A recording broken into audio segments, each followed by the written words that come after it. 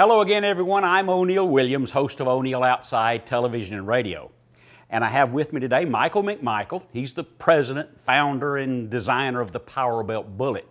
I have him here today because he's hunted all over the world and he's going to tell us why the Powerbelt Bullet is so effective on game and so popular all over the world. If you're ready, I'm ready. I'm ready. All right.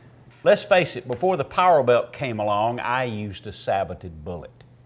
Really hard to load. Well, like we talked about, the, the sabot has that cup that comes all the way around it, and that's the only thing that engages the rifling. So it basically takes the same energy to push it down the barrel as it is to push, come back out the barrel. So our bullet has the gas check attached to the base. The bullet itself can be slightly under bore diameter, so it loads really easy. Mm -hmm. And then on the way out, the gas is ignited, the bullet obturates or fattens up and engages the rifling, so it comes out engaged. And again, that reinforces that consistency and that accuracy, doesn't it? That's right. Yeah.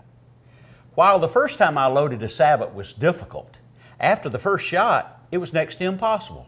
What's going on? Well, like we talked about, the plastic on a sabot surrounds the bullet. That's what's engaging the rifling. Well, when it comes out at velocity, it's stripping that plastic off and leaving it in the rifle. So it's a dirty barrel.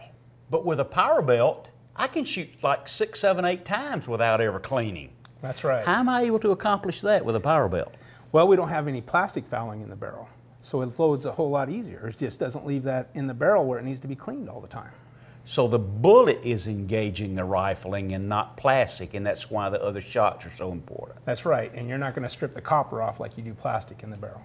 Michael, what makes the power belt bullet so different and superior to the saboted bullet? Well, the bullet itself is completely designed from the ground up for a muzzleloader. That's the first thing. Now, the, the saboted bullet has a cup that surrounds the bullet itself so the bullet doesn't engage the rifling. Then it has a gas seal at the base of the sabot. Mm -hmm. The Powerbelt bullet is designed, the bullet itself, to engage the rifling. Then we have the gas check, which is attached to the base of the bullet to give it a perfect gas seal. Well, what does the perfect gas seal do for us? Well, it does a lot of things. The most important thing is, is velocity. All of the, the powder, when it's ignited, the gases, the energy is transferred to the bullet itself. So you're getting higher velocities and, and more consistent velocities. All right, we've achieved consistency. Correct. Okay. What does that translate to to the performance? Okay, it means everything in performance because you're, you're constantly getting the same burn, the same push on the bullet basically, so you get the same velocities, so you have the same point of impact downrange. There's no gases getting past the bullet at one time and then all getting checked the next. They're all getting stopped behind the bullet. So every shot's the same? Identical. The accuracy. That's where it comes in. For anyone who takes a look at the Powerbelt line, they'll notice there's an AeroTip, a hollow point, and a flat tip. What are the differences? The hollow point, by contrast, expands immediately on contact.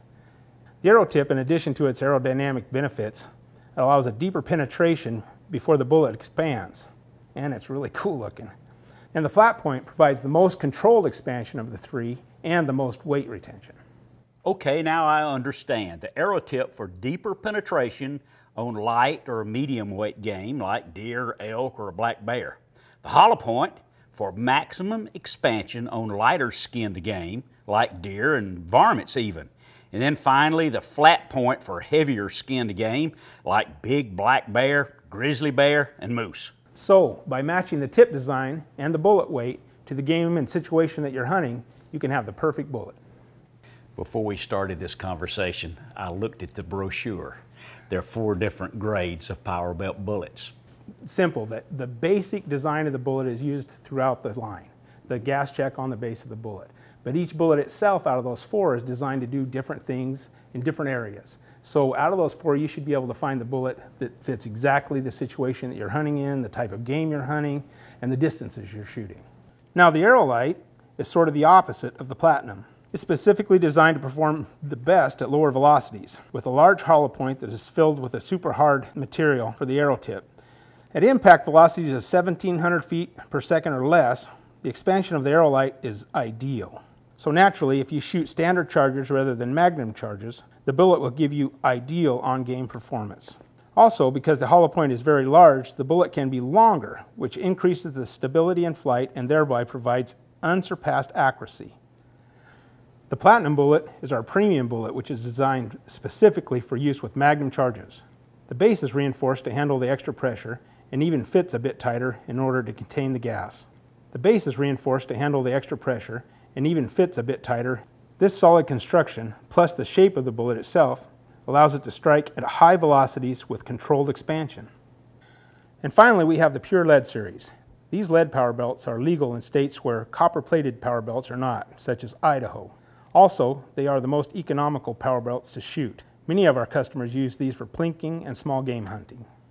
Our copper series are the most popular of the power belt bullets. These are the bullets that took the power belt brand from a little operation in my garage to the modern factory in Nampa, Idaho, where all the power belts are made today, to the tune of about 7 million bullets a year. The thin copper plating reduces the bore friction and increases the velocity.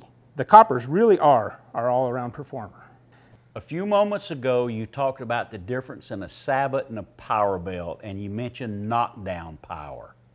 Yeah, that's a big part of it. And our bullet's designed to do that at muzzleloader velocities. But the big thing is, in a nutshell, is that the saboted bullet, because it has that plastic cup mm-hmm. around it, Okay. it has to be under bore diameter. So if you're shooting a 50 caliber muzzleloader, you're shooting only a 45 caliber bullet. With the power belt bullets, they're actually only one one thousandth of an inch under bore diameter, so they'll load easy. So you out of a 50 caliber, you're getting a 50 caliber bullet. So when you hit the animal, it hits it hard. It's a bigger bullet and more knockdown power. Exactly.